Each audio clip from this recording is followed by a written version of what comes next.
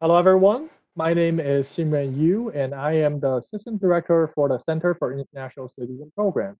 Today, I am going to teach you guys how to reset your password.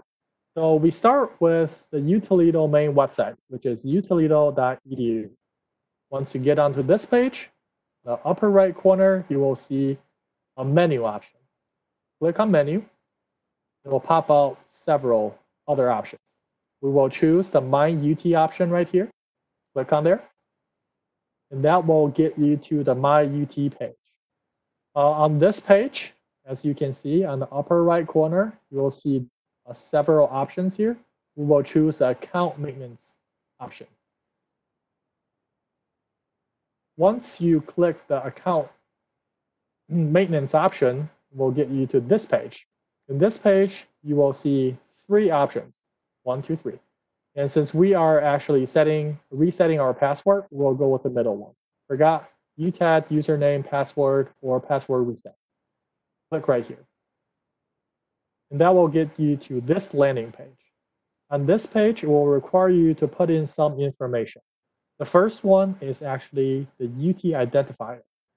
Um, there are a quick explanation right here.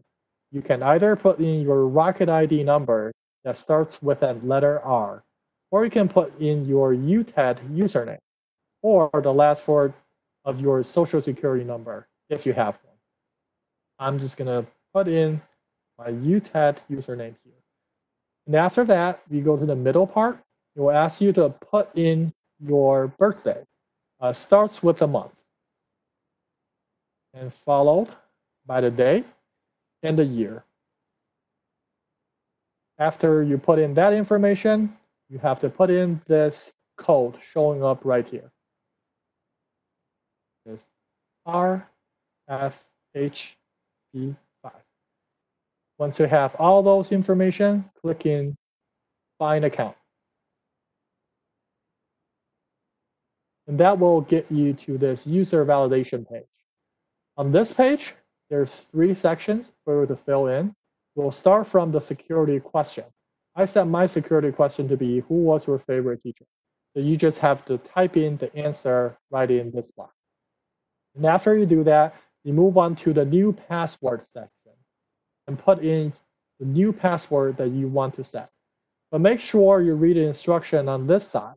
There are certain uh, requirements for your new password.